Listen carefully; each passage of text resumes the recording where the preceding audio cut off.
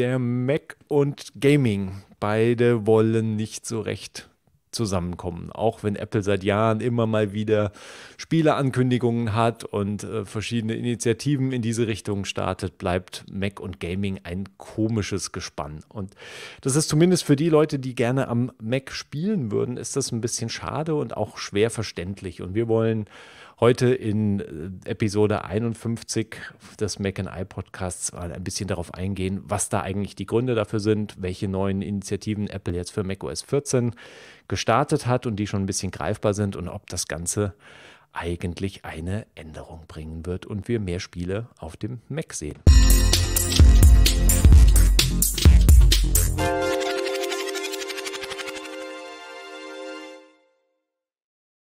Ja, herzlich willkommen zu Episode 51 des Apple Podcasts von Mac and I. Mein Name ist Leo Becker, nicht Malte Kirchner. Malte ist in Urlaub, schönen Urlaub von dieser Seite aus. Ähm, heute zu Gast habe ich meinen Kollegen Holger Zelder, der sich sehr lange schon mit Mac, Mac und Gaming auseinandersetzt. Hallo, Herr Holger. Hallo, Leo. Ja, du als, äh, als jemand, der auch spielt und auch mal auf dem Mac spielt, wo sind wir 2023 mit Mac und Gaming eigentlich angekommen? Ähm, es ist durchwachsen, mhm. um es mal diplomatisch auszudrücken. Ähm, es kommen immer noch vereinzelt Mac-Spiele auf den Markt, aber ähm, die großen Blockbuster-Titel, die man von Windows oder PlayStation, Xbox und Nintendo kennt, ähm, die kommen selten oder wenn überhaupt dann auch nur mit großer Verzögerung, wie es eigentlich auch schon früher war. Ähm, und Apple hängt immer noch der Ruf an, dass Macs eben nicht spieletauglich sind, ähm, was zumindest hardware-seitig nicht mehr ganz stimmt. Aber dazu kommen wir ja später vielleicht nochmal. Hm. Also das große Problem ist momentan eher das Angebot, was auf den Maschinen, was ja. für macOS vorliegt.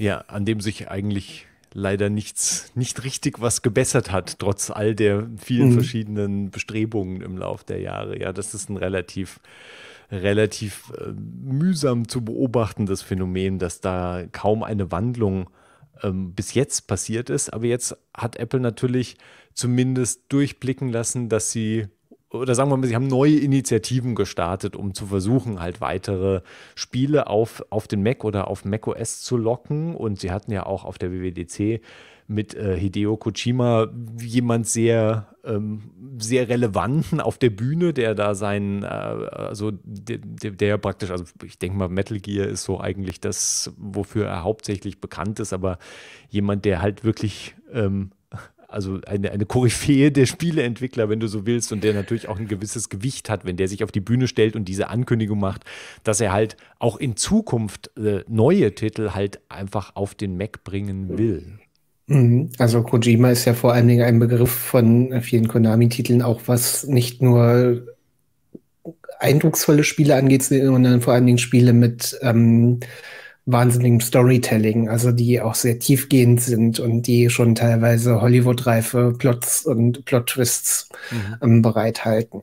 Genau. Ähm, ja, also auf der WWDC gab es wieder neue Ankündigungen, dass Apple mehr in Richtung Gaming machen will. Ähm, auch im letzten Jahr gab es bereits schon erste Ankündigungen. Also Apple arbeitet ja schon, hat ja auch eigene Frameworks, während unter Windows eigentlich alle Spiele unter DirectX 12 laufen oder unter DirectX, ähm, unter der Schnittstelle, ähm, hat Apple keine DirectX-Unterstützung, sondern ähm, etwas eigenes, was sich Metal nennt. Also diese Grafikschnittstelle, die eben für Beschleunigung von Grafik und dergleichen äh, zuständig ist. Und ähm, da gab es schon im letzten Jahr erste Ankündigungen, dass Spiele das nutzen können, eine Funktion namens Metal Upscaling, dass sie eben die ähm, Spielperformance wesentlich beschleunigen sollen. Ähm, die ersten Titel, die das genutzt haben, oder der erste Titel war Resident Evil Village, was aber letztlich nur ein Port ist von einem inzwischen drei Jahre alten Spiel. Mhm. Und No Man's Sky, was jetzt auch vor kurzem rauskam, für den Mac nutzt es auch. Allerdings ist No Man's Sky noch älter. Gute, ja. Ich glaube, fünf Jahre, sechs Jahre. Also es gibt es auch schon relativ lang. Und ist natürlich ein großer Titel. Ja, genau. Zwischen der Ankündigung hm. und der, also zwischen Apples Ankündigung und dann der Veröffentlichung lag ja jetzt dann auch nochmal, so wie du sagst, das ist ja auf der genau. letzten genau. Entwicklerkonferenz, auf hm. der letzten WWDC angekündigt worden. Jetzt kam es vor der diesjährigen WWDC, kam es ja gerade noch hm. so schnell raus. Mhm. Genau. Ähm, was Apple jetzt dieses Jahr neu angekündigt hat, waren für den Mac waren gleich zwei Dinge im Spielbereich. Zum einen einen Gaming-Mode in macOS Sonoma, ähm, der Spielen unter macOS höhere Priorität einräumen soll. Sprich, dass sie eben auch das letzte bisschen Leistung rauskitzeln können, dass die Latenz von Bluetooth-Controllern gesteigert wird und dass Spiele eben noch schneller laufen. Ähm, das zweite, was sich eigentlich an Entwickler und nicht an den Endverbraucher richtet, ist das Game Porting Toolkit. Ähm, das ist so ein Toolkit oder eine Laufzeitumgebung, die da in die Entwicklern dabei helfen soll, zu schauen, ich habe hier ein Windows-Spiel und ich überlege, das auf dem Mac zu portieren. Wie hoch ist eigentlich der Aufwand und wie gut läuft das Ganze? Und ähm, in dieser Umgebung kann man unter macOS Sonoma aktuelle Spiele, die so unter Windows laufen, DirectX 12 Spiele, direkt ausführen. Und ähm, das geht mit teils sehr guter Performance auf aktuellen Macs. Genau, also ja, es ist halt interessant, äh, die, dieses Game Porting Toolkit ist etwas, was wir zumindest in dieser Form, glaube ich, von Apple, naja, also zumindest noch nicht in der, in diesem Umfang, glaube ich, noch nicht gesehen haben. Und natürlich haben sich ja da, wurde sich da auch gleich drauf gestürzt und es gibt natürlich von Entwicklerseite da auch viel, äh, ist viel in Bewegung geraten, um es halt auch einfacher zu machen. Und natürlich hat es dazu geführt, ähm, dass ein ganze, äh, dass erste Leute natürlich versucht haben, einfach möglichst viele Windows-Titel letztlich eins zu eins erstmal auf dem Mac laufen zu lassen oder besser gesagt zu schauen, wie gut sie halt laufen. Also einfach irgendwie aus Steam heraus ähm, zu installieren und ähm, sich mal anzuschauen, ob man das überhaupt spielen kann. Und man kann, glaube ich, vorsichtig sagen, ja, man kann erstaunlich viel irgendwie schon mal spielen. Natürlich darf man sich da auch keine Wunder erwarten, weil die Spiele sind halt nicht angepasst. Ähm, und es ist ja von Apple auch nicht so konzipiert. Also dieses Game Porting Toolkit ist ja kein, äh, keine Software, die irgendwie für Endkunden gedacht ist. Und es ist auch nicht so, als hätte Apple jetzt irgendwie gesagt, ja, das machen wir zum Teil von macOS und dann lässt du halt einfach deine Windows-Spiele, die packst du halt einfach in dieser Umgebung, lässt du die einfach laufen, sondern das ist ja wirklich spezifisch eigentlich für Entwickler gedacht um, um überhaupt mal einen Eindruck zu bekommen, wie läuft denn mein, wie läuft denn mein Spiel äh, in macOS. Genau. Ähm, also Apple ist ja auch nie rangegangen und hat gesagt, hier, äh, liebe Kunden, ihr könnt jetzt jedes Windows-Spiel spielen und es ist ganz einfach. Es ist es richtet sich, wie du schon sagtest, oder wie ich auch gesagt habe, an Entwickler.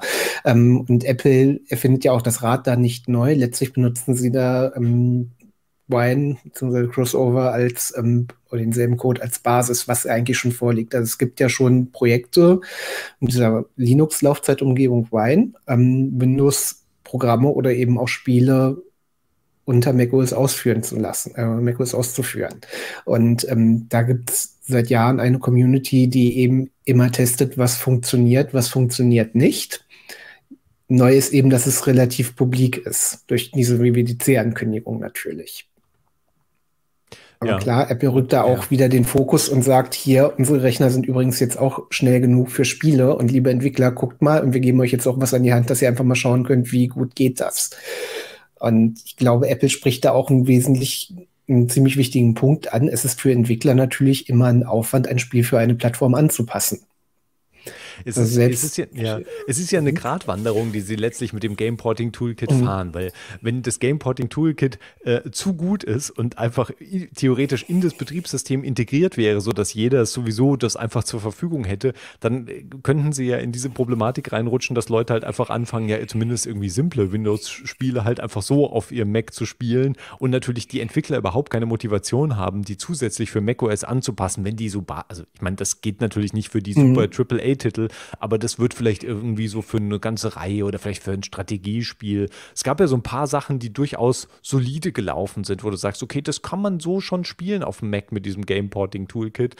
Allein so in unangepasster Form die Windows-Version. Und ich meine, dann wirst du als Entwicklerstudio, setzt du dich dann natürlich vielleicht auch hin und sagst, ja gut, dann, dann brauchen wir jetzt natürlich uns auch nicht die Mühe zu machen, da irgendwie Wochen, Monate oder wie lange auch immer reinzustecken, um unser Spiel wirklich ernsthaft halt für macOS anzubieten. Siehst du diese Gefahr da mitschwingen?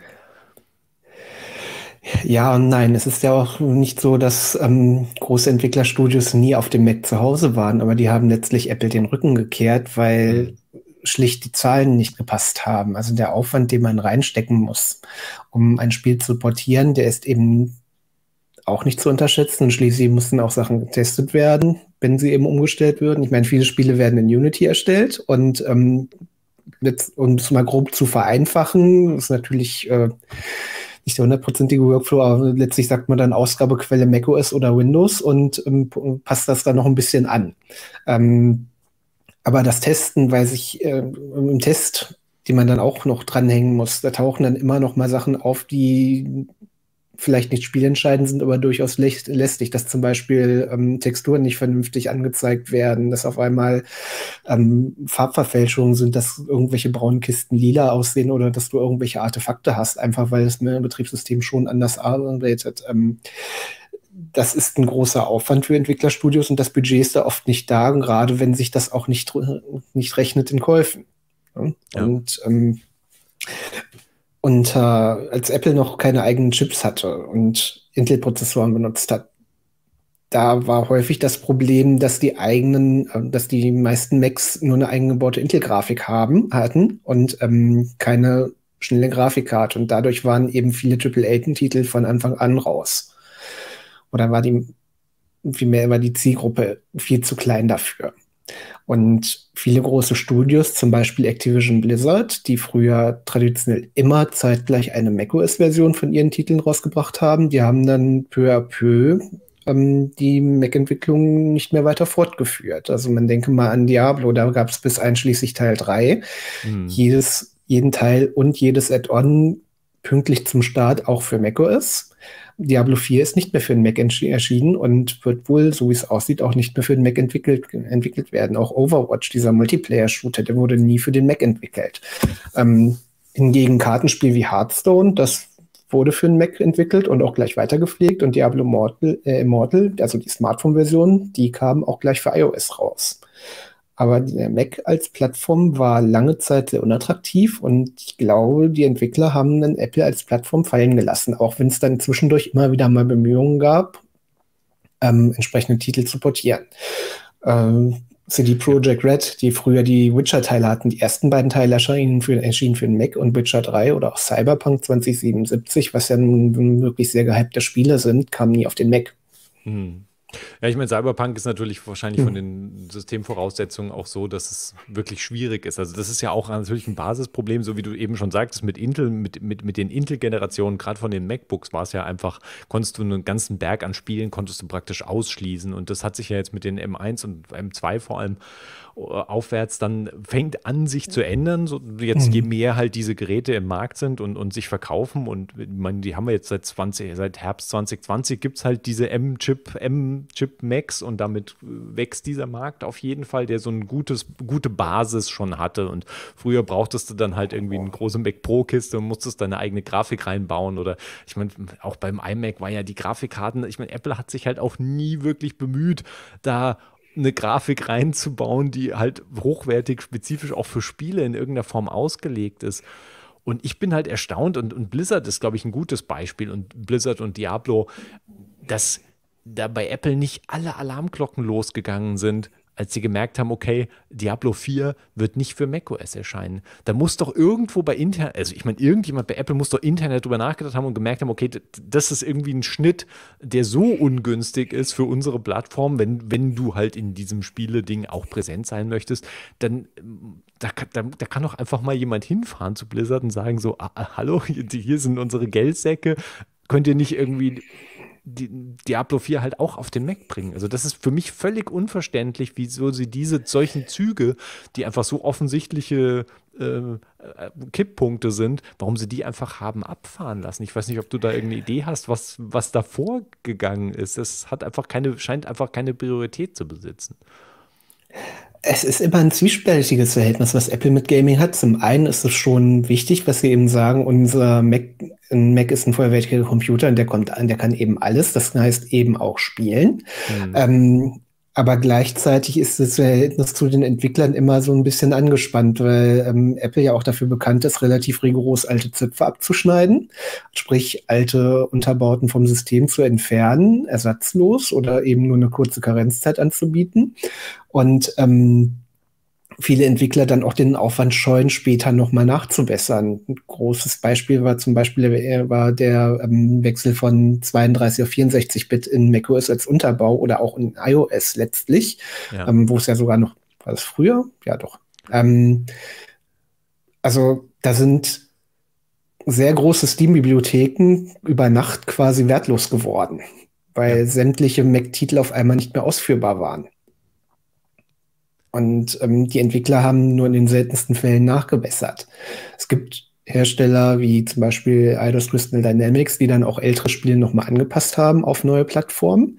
Ähm, die Tomb Raider-Reihe zum Beispiel, also diese Tomb Raider Remakes, ähm, die laufen unter Intel, unter ähm, ARMX und eben, die waren früher auch noch für zwei, teilweise für 32-Bit programmiert und laufen auch jetzt noch wunderbar. Okay, ja. ähm, hm?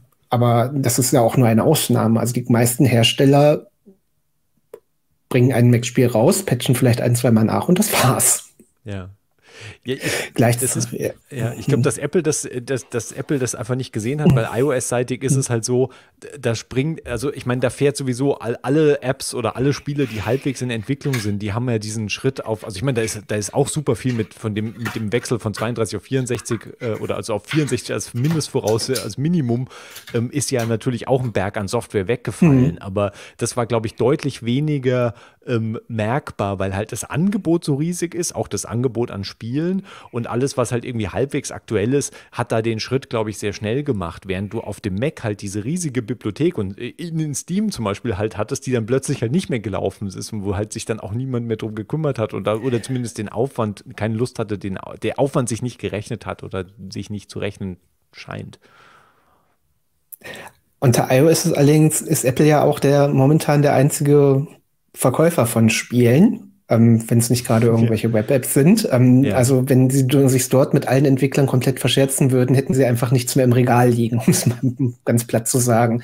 Ähm, unter macOS oder eben unter einem normalen Computer ist es ja so, dass die Spiele hauptsächlich auf Steam verkauft werden, dann unter Good Old Games und auch noch über Epic, ähm, über den Epic Game Store. Da geht eben viel an Apple vorbei. Also man muss ja auch dazu sagen, dass der Mac App Store jetzt nicht unbedingt die Nummer eins Quelle für Software ist. Ja, ja ähm, abgesehen von Apple eigener Software. Also sehr viel Soft sehr viel Apps, die verkauft werden, kommen halt von woanders, was sicherlich nicht auch ganz nach Apples Vorstellung ist, aber ähm, das wird zumindest immer noch hingenommen.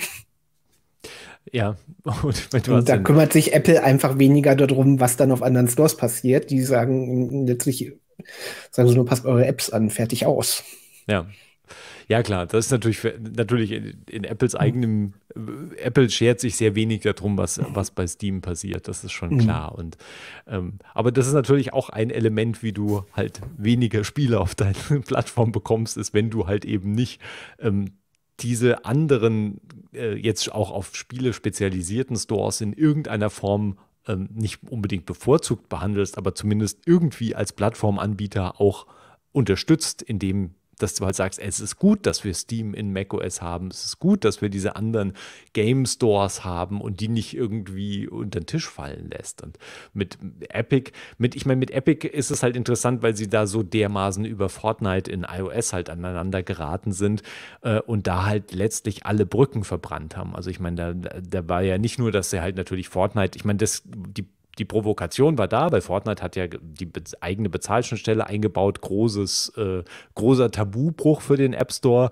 Und dann haben sie halt den Rauswurf natürlich, haben sie Fortnite rausgeworfen, aber sind natürlich noch weitergegangen und haben nicht nur Fortnite rausgeworfen, sondern praktisch auch den Entwickler-Account von Epic Games ge, ge, gestrichen oder suspendiert oder wie man es auch immer nennen möchte. Und dann zusätzlich sogar äh, ursprünglich geplant, natürlich alle Epic Games Entwickler-Accounts zu sperren und damit auch Unreal Engine halt von macOS zu tilgen oder die Weiterentwicklung von der, der Unreal Engine unter macOS halt zu verhindern.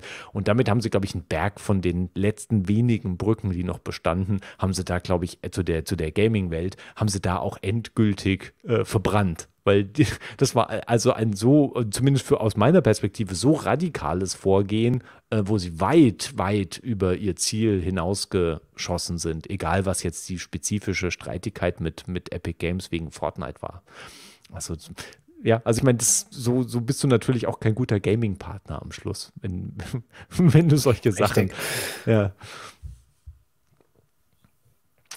Solche, ja, so über die, so über die Stränge schlägst. Also da bin ich, da weiß ich nicht, ob sie da nochmal die, die Brücke bekommen. Ich meine, Fortnite ist seitdem natürlich verloren. Also das ist natürlich auf iOS verloren, weil du es da einfach nicht mehr, also außer du hast es irgendwie noch, aber du, du kriegst ja keine Updates mehr und nichts mehr. Das Spiel ist praktisch kaputt, wenn du so willst. Oder, oder du kannst halt nicht genau, mehr in aktueller... Glaub, du kannst halt auch nicht mehr mit aktuellen, also aktuell Exakt, mit anderen. Leuten zusammenspielen, weil sie alle ja. auf viel weiteren Seasons sind und ähm, das ist alles kaputt und ähm, sich mal den Luxus zu gönnen, das größte und wichtigste Spiel, Moment, Multiplayer-Spiel, einfach so für Plattformen zu verbannen und nicht nur von einer, sondern sogar von zweien.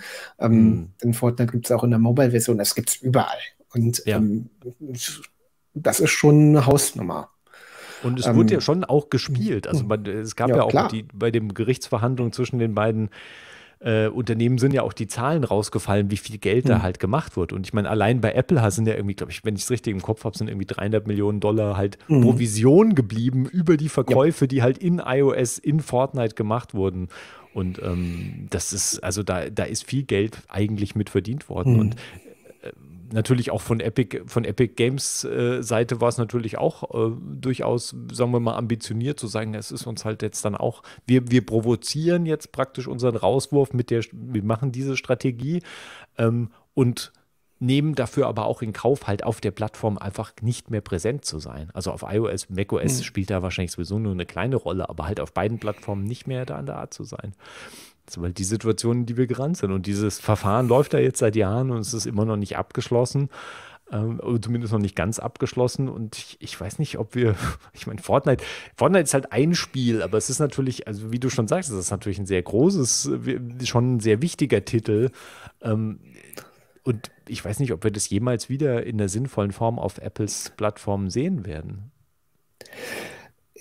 darauf würde ich jetzt keine Wetten eingehen. Ähm, ich glaube, da sind die Lager auch zu sehr verhärtet, aber ähm, gleichzeitig macht Apple ja trotzdem Anstrengungen, andere Publisher oder andere Entwickler an sich zu binden. Konami zum Beispiel ist ja jetzt wieder sehr präsent mhm. unter ähm, macOS gerade mit, mit den Portierungen von ähm, Death Stranding oder eben auch von Resident Evil, ähm, aber auch bei Apple Arcade, da kamen ja einige Titel von Konami auch exklusiv.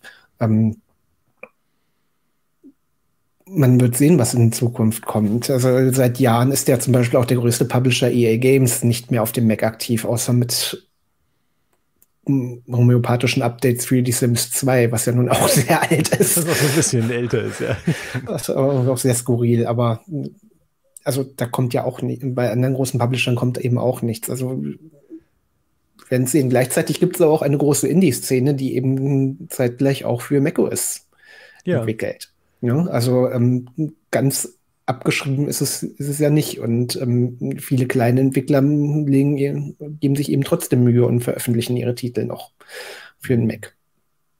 Ja, ich glaube, äh, Apples Idee ist so ein bisschen, dass ich, sie haben halt angefangen eben mit dem Gameporting Toolkit, die hm. und auch mit ihren eigenen Chips praktisch die, die hm. technische Seite, äh, die, die technische Basis zu liefern und hoffen jetzt, glaube ich, einfach darauf, dass letztlich dasselbe passiert, was halt in iOS passiert ist, dass die Plattform einfach insgesamt spannend genug ist für Entwickler und, und vielleicht dann auch lukrativ genug ist für Entwickler, um halt äh, die, den Aufwand zu rechtfertigen, um halt ihre Spiele entsprechend dann eben auch auf macOS zu bringen, so wie sie halt in iOS sowieso dann, die, zumindest jetzt die Mobile Games äh, Seite halt äh, präsent natürlich mhm. alle sind, weil halt da auch extrem viel Geld verdient wird unterm Strich.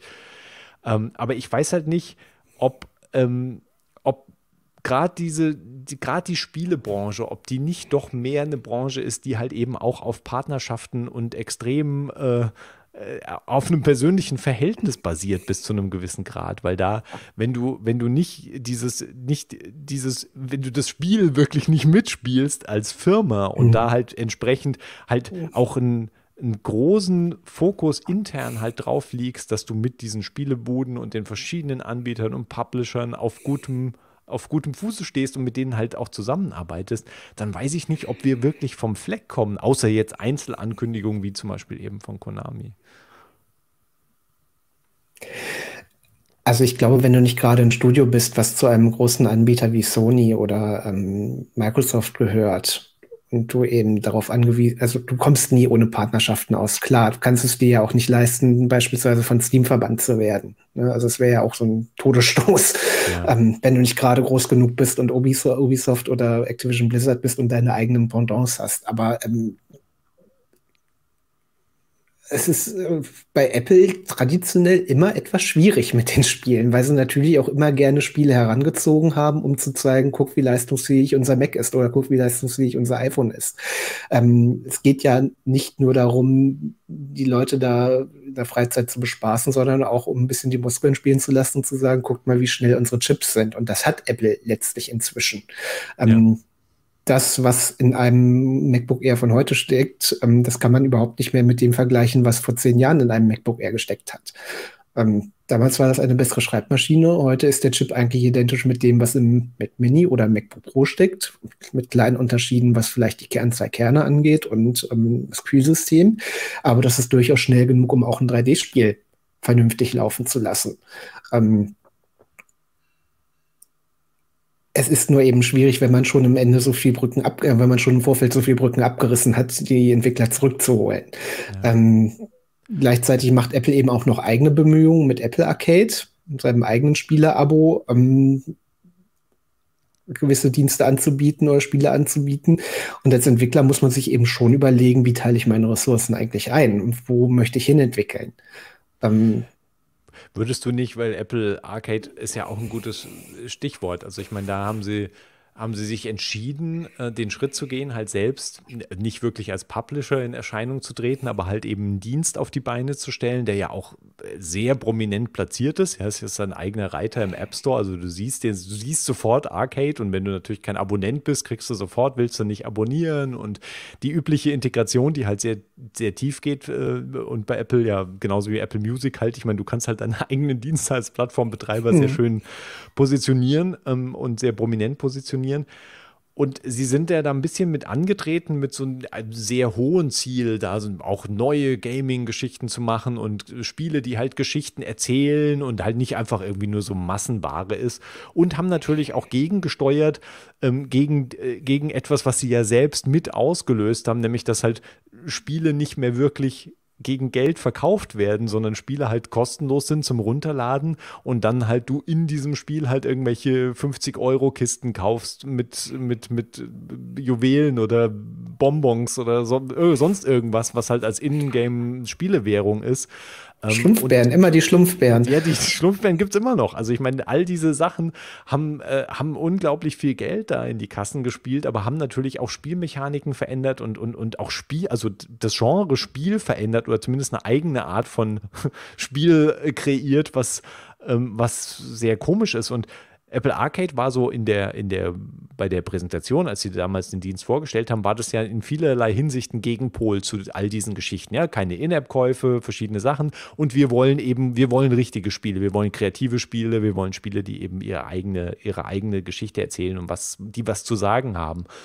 Und davon ist nicht so viel übrig geblieben, wenn du Apple Arcade anschaust. Also ich meine, da haben sie irgendwann haben sie angefangen, irgendwelche klassischen Titel da wieder zurückzubringen, mhm. was nett ist für Leute, die jetzt lang auf dem iPhone unterwegs sind. Und das sind auch alles nette Spiele, aber das ist jetzt irgendwie, also ich meine, davon wird irgendwie, davon geht Gaming keinen Schritt nach vorne. Das ist irgendwie, das, das wirft nicht die Gaming-Welt über den Haufen, dass alle sagen, oh Wahnsinn, jetzt, jetzt muss ich Apple Arcade abonnieren, um irgendwie ein sieben, alt, sieben Jahre altes iPhone-Spiel zu spielen. Ne?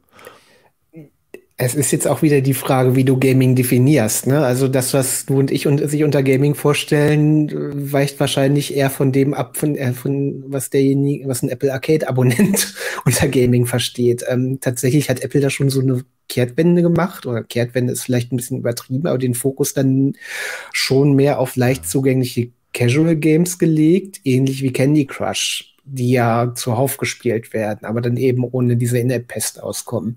Ähm, mhm. Einfach weil die auch gut auf verschiedenen Plattformen laufen. Apple Arcade hat ja zum einen immer das Problem, es muss von der kleinsten Plattform bis zur großen Platt bis zum großen ja. Mac funktionieren. Also sowohl das älteste Apple TV 4, iPod Touch ist inzwischen raus, aber so quasi das schwächste iPhone oder schwächste iPad und eben auch äh, der aktuelle Mac Studio. Es muss auf allen Plattformen mehr oder weniger gleich gut laufen. Eine schnellere Plattform kann vielleicht noch mehr Texturen laden, aber eigentlich im Großen und Ganzen muss es überall reibungslos funktionieren. Und ähm, klar, du kannst dann sagen, dann ist irgendwie die gemeinsame, dann hast du eine, hast eine Controller-Bedienung, das funktioniert auch alles irgendwie, aber das kann halt grafisch nicht so aufwendig sein wie ein AAA-Titel, den man jetzt irgendwie auf der PlayStation 5 oder der Xbox One spielt. Ähm, da macht man immer Unterschiede. Und diese Spiele sind auch noch wesentlich, also diese AAA-Games sind ja auch noch wesentlich teurer in der Entwicklung. Die verbrennen irrsinniges Budget, was sie erstmal einspielen müssen, nah an mhm. Blockbuster-Produktionen, was Filme angeht. Ähm und Apple Arcade soll für die ganze Familie sein. Das heißt, ich kann jetzt keinen blutigen Horror-Gore-Shooter da ähm, veröffentlichen, der so der viele Gamer anlocken würde oder manche Gamer, auch längst nicht alle. Ähm, das heißt, es muss immer in gewissem Maße äh, familientauglich sein. Ja. Ich glaube, ja, ich glaube, das ist auch die größte, mhm. im Moment die größte mhm. Stärke von Apple Arcade ist eigentlich die Familienkomponente, dass du so einen Spielefundus hast, den man auch Kindern relativ äh, sorgenfrei geben kann, weil es halt eben keine Innenkäufe gibt und weil du diese Begrenzung nicht hast und auch diese, die Spielemechaniken sind natürlich immer mhm. noch zu sehen, aber sie funktionieren. Du kannst dann einfach eben dir das Zeug halt einfach so zusammenklicken, was du sonst bezahlen müsstest. Und mhm. ähm, das, das ist natürlich äh, unter dem Aspekt ist es wahrscheinlich so, dass äh, Apple Arcade vermutlich auch im Kontext von der Familienfreigabe und von Leuten, die eben Kinder in einem Alter haben, wo sie sagen, okay, die dürfen auch mal was spielen, kann man dann funktioniert das auch. Aber als, als richtiges, also ich meine, als Hardcore-Gaming-Dienst funktioniert es natürlich nicht. Ich glaube, das ist auch klar. Und das ist auch eine Welt, in die Apple halt sowieso relativ wenige Kontaktpunkte hat oder Anknüpfungspunkte. Ja, da werden wir sehen, ob sich da jetzt so viel ändert. Also es ist, ich finde den Gaming-Mode von macOS 14 finde ich interessant, weil der natürlich so ein Aushängeschild ist und der so ein bisschen so ein Wink mit dem Zaunpfahl. So, ja, wir, wir, wir, mhm. das ist wirklich wichtig für uns. Das ist so wichtig, dass wir das jetzt auch mal als so Front and Center ähm, in macOS in den Vordergrund stellen. Ähm, und auf der anderen Seite kannst du natürlich sagen, okay, warum passiert das halt erst mit macOS 14? Also ich meine, warum hat es so lange gedauert? Also ich meine, warum haben Spiele, also wie wenig Priorität hatten Spiele, dass die im Betriebssystem sozusagen immer halt sich ihre Ressourcen mit allem anderen Kram teilen mussten? Das ist ja eigentlich schon ein bisschen schade, dass es so lange gedauert hat. Und äh, ich glaube, ja, ich glaube, meine, meine große Frage ist am Schluss, ähm, ist eigentlich, braucht es überhaupt diese Spiele auf dem Mac? Also, ich meine, dem Mac ging es eigentlich recht gut in den letzten Jahren und ja, der Plattform geht es gut also meine softwareseitig ist der Mac auch an einem, in einem komischen Punkt insgesamt, weil wir noch nicht so recht wissen, wo die Reise hingeht und so richtige native Mac-Apps sind so ein, auch eine Rarität inzwischen ein bisschen geworden. Also da ist ja auch viel natürlich, dass so Elektron-basierte Web-Apps von Diensten, die halt auf allen Plattformen präsent sind und die iPad-Apps, die halt so irgendwie mal besser, mal schlechter auf den Mac gebracht werden. Ähm, da sind wir so ein bisschen auch in einer vermischten Welt. Aber ich frage mich halt gerade, würde der Mac ohne Gaming nicht auch einfach zurechtkommen? Könnte man das nicht auch einfach, ist es auch einfach egal, ob Apple sich darum kümmert oder nicht? Ich glaube, im Grunde würde trotzdem noch irgendwas fehlen. Sicherlich, der Großteil der Mac-Nutzer spielt nicht, äh, spielt wenig oder nicht am Mac oder zumindest nicht die großen Titel, aber es gibt sicherlich den einen oder anderen Studenten oder auch jemand mit einem kleinen Budget, der dann einen Mac hat, aber sich dann eben nicht noch eine Konsole hinstellen will, der es vielleicht mhm. auch gar nicht will. Ähm, der aber schon mal hin und wieder irgendwie was spielen möchte. Also es ist, es ist, einen Markt gibt es dafür sicher und zu sagen, wir verschließen da jetzt erstmal grundsätzlich die Augen oder es ist uns egal. Also das haben sie ja die Jahre lang, das haben sie ja jahrelang gemacht, jahrelang äh, mehr oder weniger so getan, als wäre die Plattform super und sie müssten dort nichts machen. Aber anscheinend gibt es dort immer noch eine gewisse Überzeugungsarbeit, die sie leisten müssen. Ja.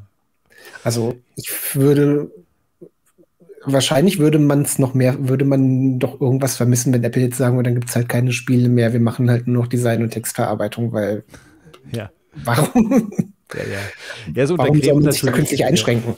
Es, es untergräbt natürlich die Idee des, der, der, der, des Computers als allgemeine hm. Plattform, auf der halt jegliche. Software in irgendeiner Form eine, eine Berechtigung hat und, und laufen kann und sinnvoll ist. Ja, also wir werden auch das gespannt äh, weiter verfolgen, was, was macOS 14 da mit Gaming macht und ob, ob wir wirklich den, ich meine, als jemand, der das so lange immer beobachtet hat und so konstant halt enttäuscht wurde, fällt es mir schwer äh, zu glauben, dass jetzt eine große Änderung einsetzt. Aber es ist schon so, dass sie gefühlt ein bisschen mehr als vorher gemacht haben. Wenn sie jetzt noch schaffen, dieses geschäftliche, diese, diesen geschäftlichen Knackpunkt zu lösen und halt auch da zu sagen, das muss eigentlich intern, muss Spiele auf eine extrem hohe äh, Stufe gehievt werden und so ähnlich wie sie es halt mit äh, TV Plus auch gemacht haben, dass sie halt Leute geholt haben, die wissen, wie halt äh, also wie Fernsehen funktioniert oder die wissen, wie Spielfilme und TV-Serien funktionieren. Da haben sich ja zwei Sony-Leute geholt, die sehr genau wissen, was man da tut. Und denen, diesen zwei Sony-Leuten haben sie irgendwie ihr eigenes Studio gegeben und so eine ganz eigene Bude, in der die machen können, was sie wollen, in Anführungszeichen. Und äh, halt diesen Streaming-Dienst aus dem Boden gestampft, den man ja vielleicht noch nicht von den Abozahlen und Nutzerzahlen, aber von den Inhalten durchaus als einen Erfolg werten kann. Und bei Spielen haben sie das halt einfach absolut nicht gemacht mit Apple Arcade. Und das genau das fehlt. Also sie müssten sich, eigentlich müssen sie so genauso wie sie sich diese zwei Sony-Leute geschnappt haben, müssen sich eigentlich zwei Leute aus der, aus der Gaming-Branche schnappen, die wissen, was, wie, wie das läuft, die wissen, wie man mit Studios und Publishern spricht, die wissen, welche Games wirklich spannend sind und da halt was aufbauen. Aber das, da scheint intern bei Apple dafür ist Apple einfach nicht irgendwie Gaming und Apple kommen da nicht so recht zusammen, scheinbar. Also. Es ist natürlich auch ein Markt, der ähm, relativ stark aufgeteilt ist. Also du hast ja zum einen die Konsolen mit ihren, mit ihren Anhängerschaften und dann eben die eingefleischten hm. PC-Spieler, die gerne schrauben und nicht da äh, gar nicht auf die Idee kämen, es auf dem Mac zu versuchen, wo sie eben gar nicht selber machen könnten. Und wenn ja. Apple selber das Bewusstsein hat und ähm, sagt, unsere neuen Chips sind schneller als die GeForce 3000, hast du nicht gesehen, ähm, dann müssen sie eben auch dementsprechend liefern und sagen, guck mal, was hier nicht alles, was es hier alles Schönes gibt. Und guckt mal, liebe Entwickler, wir geben euch das und das und das an die Hand. Und macht das doch und am besten exklusiv im Mac App Store, der die Nummer eins, die Nummer eins Spielplattform werden soll. Also natürlich könnte Apple das machen. Und wie du schon sagst, mit Apple TV Plus hat Apple kein Problem, was die Qualität angeht. Hm. Ne? Also die können sie ja durchaus abliefern, aber es ist natürlich ein, schlechter, ein schlechtes Image, was sie, was sie nun mal anhängt im Sinne von Apple kann keine Spiele und die müssten halt auch nur Ausrichtung haben. Solange sie ja. eben sagen, wir können, wir haben die erfolgreichsten Spiele, die eben nur Casual sind und wir verstehen eben nur Casual als Erfolg, ähm, solange da das Geld fließt und die Abonnentenzahlen da sind, scheint das ja Apple zu reichen. Ja. Ich meine, bei TV Plus hatten sie natürlich den Vorteil, dass sie eher ihre eigenen Exklusivinhalte mhm. halt hochziehen könnten. Klar. Wenn du das auf Spiele münzt, ja, hieße das, mhm. dass sie ja ein eigenes Spielestudio oder mindestens ein Publisher werden müssten und dann grätschen sie natürlich in noch mehr mhm. Märkte und das hat natürlich auch auf Regulierungsseite hätte das wahrscheinlich auch wieder eigene Auswirkungen oder irgendjemand, äh, irgendjemand fährst du da natürlich auch vor den Karren. Ja, äh, Malte wird mit mir schimpfen wahrscheinlich, weil ich habe ähm, bei unserem, wir sind gleich zum Hauptthema eingestiegen und haben äh, unseren Newsbereich ausgeklammert. Deshalb äh, fügen wir ich den heute. Ich wollte es nicht sagen, ich dachte mir, da fehlt noch was. In dieser sehr ungewöhnlichen Folge ohne Malte äh, fügen wir den einfach hinten an, weil wir haben ja eigentlich auch immer eine, eine Neuigkeit, eine Nachricht, äh, die wir besprechen. Und diese Nachricht möchte ich auch nicht unter den Tisch fallen lassen, weil ich die sehr interessant fand diese Woche und, und jetzt ganz frisch, nämlich, dass ähm, äh, Google jetzt angefangen hat, in Android seine Tracker-Warnungen zu integrieren, also halt eine Alge, also ein, ein Warnsystem, was halt auf alle Formen von äh, verschiedenen Trackern, in dem Fall sind es vor allem natürlich auch AirTags anspringt, also AirTags, die in in der, im eigenen, die einen praktisch begleiten, von denen man aber nichts weiß. Ähm, war ja bis jetzt das Problem. Seit die AirTags auf dem Markt sind, ähm, hatte ja Apple natürlich in iOS ein System integriert, was dich halt eben darauf hinweist, wenn dieser Tracker, wenn du den im Schlepptau hast und der nicht dein eigener ist und der auch getrennt ist vom äh, Gerät des Besitzers. Aber diese Warnfunktion gab es halt Android-seitig einfach nicht. Und dann hat Apple hat ja diese Android-Tracker Detect App oder wie auch immer sie heißt rausgebracht, aber die setzt ja voraus, dass du manuell nach den AirTags scannst. Und das ist natürlich zwar ein sinnvolles Tool, aber ist natürlich Käse, weil es dich nicht darauf aufmerksam macht, wenn du tatsächlich irgendwie von diesem, äh, von dem AirTag äh, getrackt wirst. Und jetzt äh, ist, sind wir halt endlich so weit, dass es halt äh, auf Betriebssystemebene, Google und Apple haben sich da ja im Frühjahr oder vor mehreren Wochen äh, und Monaten vielleicht inzwischen schon zusammengetan und gesagt, nee, wir brauchen eine Spezifikation, wir müssen das mit, mit der, das muss auf Betriebssystemebene integriert werden, das muss auch von der Branche unterstützt werden, also von den Herstellern, von anderen Trackern. Es gibt ja eben natürlich nicht nur AirTags, sondern es gibt ja auch viele verschiedene kleinere und äh, größere Anbieter, die in dem Markt präsent sind. Ähm, und die müssen dann natürlich, müssen auch sich dieser Spezifikation anschließen. Und da gab es ja auch schon Samsung und Teil und äh, ich meine auch die kleineren Chipolo, die sind sowieso ja mehr oder weniger da automatisch, fallen da sowieso automatisch mit rein. Ähm, sodass halt jedes, jedes Smartphone, egal welches Betriebssystem darauf läuft, halt vor dieser Form von kleinem Bluetooth-Tracker auf jeden Fall warnt an einem gewissen Punkt. Und ja, jetzt haben wir es in Android. Jetzt fehlt es natürlich noch in iOS, äh, beziehungsweise in iOS ist die AirTag-Erkennung natürlich mit drin, aber eben noch keine Erkennung für andere Tracker. Also die, die muss Apple noch nachreichen. Und ähm, Google hat da tatsächlich sogar ähm, sich entschieden, das ein bisschen aufzuschieben, da seine eigenen Sachen, ähm, die, seine eigenen Gerätepark, also auch Google hat ja praktisch vor, das, ein eigenes Wo ist Netzwerk aufzubauen, ein eigenes äh, Tracking-Netzwerk aufzubauen, sodass halt auf die verschiedenen, verschiedene Hardware ähm, sich da eben auch rein kann, äh, reinhängen kann und dann halt über jegliches Android-Smartphone praktisch geortet wird, an den Server weitergeleitet wird, so wie halt auch wo ist und das Orten von AirTags funktioniert. Und das schieben sie jetzt noch auf, das einzuführen, bis nämlich Apple seine ähm, Komponente endlich umgesetzt hat. Und ich hoffe, das kommt bald in iOS. Man hat noch nichts davon gesehen in iOS 17 und es gibt auch noch keine Ankündigung, aber ich glaube, bis Jahresende müssten wir da eigentlich was, müsste da eigentlich noch was rausfallen. Mhm. Hast du denn mit den ähm, Android-seitig mit irgendwelchen von diesen Trackern ähm, Begegnungen mal gehabt? Also ich meine, im iOS-seitig gibt es da ja jetzt inzwischen ein ganz ordentliches Angebot schon. Also sind diese Google-Tracker denn jetzt schon verfügbar? Nee, ne? die kommen doch erst noch. Die kommen also die direkt von Google, nein, also ansonsten nur die klassischen Tracker, die man eben auch schon kennt, die man eben auch mit der eigenen App nutzen könnte, wie von Teil zum Beispiel. Ne? Mhm. Und Chipolo will ja offensichtlich, hm, genau, genau, Chipolo will ja dann einfach beides machen. Von Chipolo gibt es ja auch die Wo ist-kompatiblen genau. Tracker und dann kommen halt. Und dann gibt es eben noch die eigenen, genau. Ja. Mhm. ja. und dann kommen später noch welche, die halt spezifisch ja, mit genau. Googles also das heißt, die fahren natürlich dann dreigleisig, wenn du so willst. Ne? ja, aber halt das ist ja auch letztlich, das ist ja letztlich die Vorgabe, wenn sie eben bei Find My nutzen, äh, erkannt werden wollen, dann dürfen sie eben auch nicht ihr eigenes Netzteil betreiben, ich, äh, Netzwerk betreiben. Ich frage mich dann, warum Chipolo überhaupt noch ein eigenes Netzwerk betreibt, wenn die dann ähm, von beiden Seiten in die Mangel genommen werden. Hm. Und vielleicht sogar noch von der dritten Seite, wenn dann Samsung, Samsung kommt, je nachdem. Ne? Ähm, ja. ist schwierig.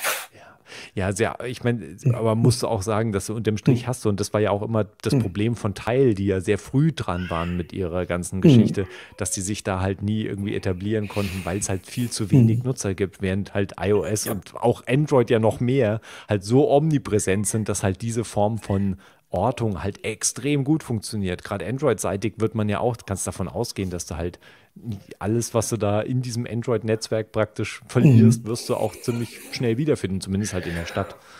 Ja, und ich glaube, die Android-Tracker, die gehen sogar ab Android 6, also schon ewig alte Systeme. Mhm. Also ähm, das ist eine Riesenbasis, die sie dann bereithalten. Ne? Ja. Also schon Wahnsinn. Es könnte noch deutlich genauer sein als die AirTags. Und das, das ist ja schon ein sehr gutes Netz im Stadtbereich.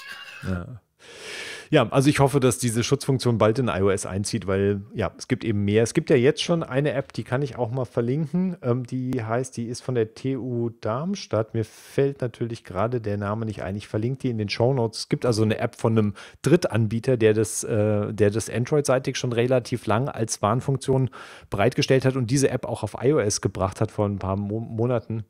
Ja, das heißt, glaube ich, auch Tracker Detect oder sehr ähnlich so. Ähm, dass die eben auch im Hintergrund laufen kann in iOS und äh, damit dich auch eben auf andere Tracker im Schlepptau aufmerksam machen kann und auch überhaupt einen interessanten Einblick darin, da rein bietet, äh, was eigentlich für Tracker in deinem Umgebung halt sind. Also ich sehe halt da plötzlich, da sind irgendwelche Samsung-Tags und, und Tiles und alles irgendwo, die halt in der Nachbarschaft sind und wo man irgendwie vorbeiläuft oder so. Und äh, man bekommt mal äh, ein Gefühl dafür, wie viele von diesen Trackern neben den AirTags sowieso ja auch äh, bereits halt aktiv verwendet werden. Also wenn du halt natürlich durch ein Stadtgebiet läufst, wirst du an, wirst du an einem ganzen, an einer ganzen Reihe von Trackern halt inzwischen einfach von diesen Bluetooth-Trackern einfach vorbeimarschieren. Also, also das muss man einfach glaube ich, sollte man sich darauf einstellen. Deshalb ist es halt auch so wichtig, dass das auf Betriebssystemebene umgesetzt wird. Ja, gut, das wird also bald, das wird also hoffentlich bald, bald passieren. Ähm ja, dann äh, würde ich sagen, wir machen zu für heute. Schauen, äh, schauen, was uns Mac Gaming bringt und schauen, wann unsere Tracker-Verhinderungssachen äh, reinkommen und äh, werden uns äh, bei der nächsten Folge und wir hören uns bald wieder. Bis dahin. Tschüss. Ciao. Ciao. Tschüss.